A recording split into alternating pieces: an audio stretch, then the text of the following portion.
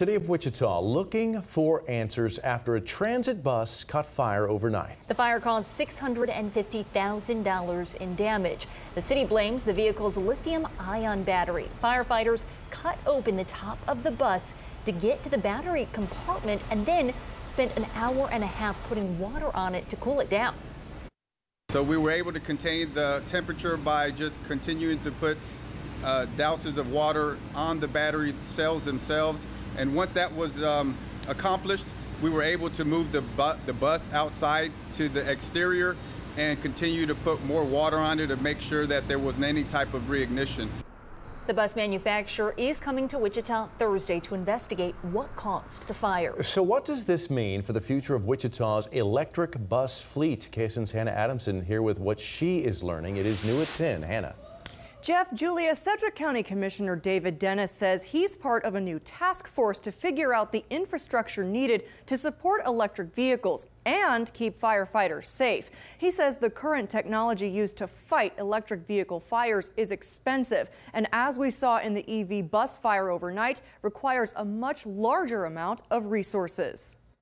On a gas fire, uh, from the studies that I've seen, takes about a thousand gallons of water to put that fire out uh, on an electric vehicle, in order to cool that battery down enough, they're talking about 30,000 gallons of water. Commissioner David Dennis says a process known as thermal runaway makes fighting lithium ion battery fires much more difficult. So if one cell out of all the hundreds of cells that are in this battery starts to overheat, uh, then it transfers that heat to the next cell, and, and it's just kind of a ripple effect. WFD Battalion Chief Jose Ocadiz says an extinguishing agent known as Lith-X is a good alternative for fires caused by small lithium ion batteries, but it has its limitations. Those larger types of vehicles or buses, transportation types of vehicles on being able to contain that temperature, water is going to be our first and best option. Ocadiz says the WFD only has one five gallon bucket of Lith-X currently in use.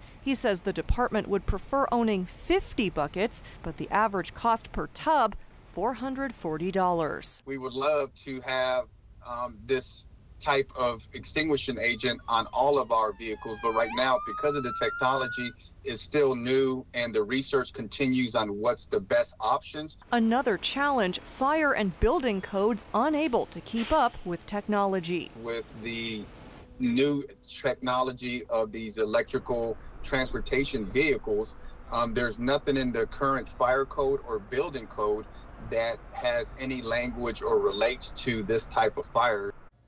Ocadiz says Wichita follows the latest International Code Council regulations on fire and building code that was released in 2018. He says an updated version will be released in 2024. Meanwhile, Commissioner Dennis says the next EV task force meeting will be held in June. Here for you, Hannah Adamson, KSN News 3.